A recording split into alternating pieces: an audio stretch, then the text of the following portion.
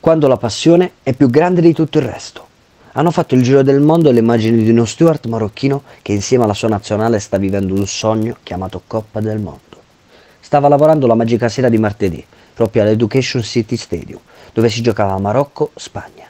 Il video ci fa vedere come negli ultimi istanti del recupero dei tempi supplementari il ragazzo cerchi di rimanere impassibile davanti a quell'impresa sempre più vicina. Ma rigore finale, con la panica, comunemente detto cucchiaio, della stella dei leoni dell'Atlante Ashraf Hakimi, che ha mandato ai quarti il Marocco, condannando la squadra allenata da Luis Enrique, il giovane si è lasciato andare in un pianto di gioia che ci ricorda perché questo sport sia il più bello del mondo.